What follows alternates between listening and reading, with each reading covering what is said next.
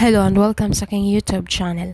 AJ Raval palaging mistress ang bansag sa kanya? Bakit?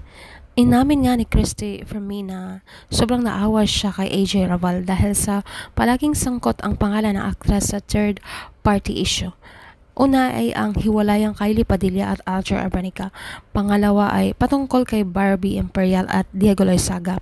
Ayon kay Christopher Min ay kung gusto lang umano ni AJ na mapag-usapan siya, sana ay gumawa siya ng isang bagay na maganda, positibo. Dagdag pa ni Christy na hindi na maganda na palaging Sangkot sa AJ Raval sa third party issue dahil bata pa raw ito at maganda. Maaari pa itong makakita ng lalaking magmamahal ang totoo sa aktres at mamahalin din niya.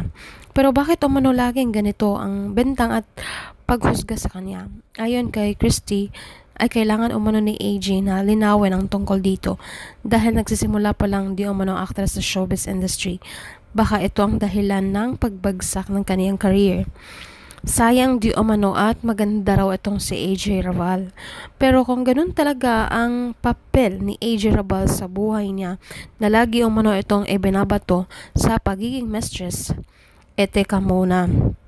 Mag-isip-isip na umano si AJ Raval ng paraan para mapag-usapan siya na isang positibong paraan at hindi palaging sangkot sa third party issue. And that's our latest chika for today. Please like, share, comment, and subscribe sa aking YouTube channel. Thank you and may God bless us.